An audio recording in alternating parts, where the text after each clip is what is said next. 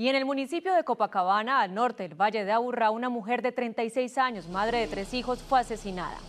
Los hechos se registraron cuando la mujer, quien se dedicaba a labores del campo, se dirigía a su trabajo por la vereda El Cabullal, en el sector Quebradita, donde fue atacada por desconocidos con un machete. Las autoridades investigan si este caso está relacionado con un tema sentimental. Los tres hijos menores de edad quedaron a cargo de la comisaría de familia y posteriormente fueron entregados a su padre. Durante este año se han registrado siete mujeres que han sido asesinadas en el Valle de Aburrá, la mayoría de ellos calificados como feminicidios.